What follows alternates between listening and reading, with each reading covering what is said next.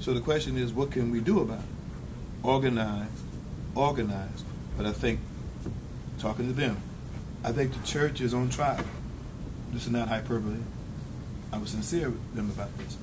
I said the church is on trial because we preach the gospel.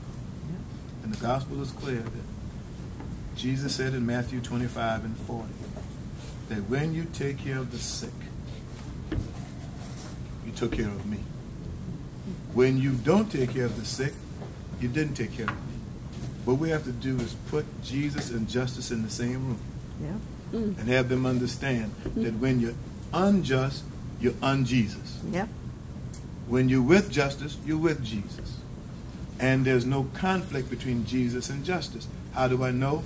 Because he said that he will judge the church by how they took care of the least. The people who qualify for Medicaid expansion represent the least. How can the church ignore the mandate of the gospel they preach? That's what I think makes it more effective than arguing about the role of government.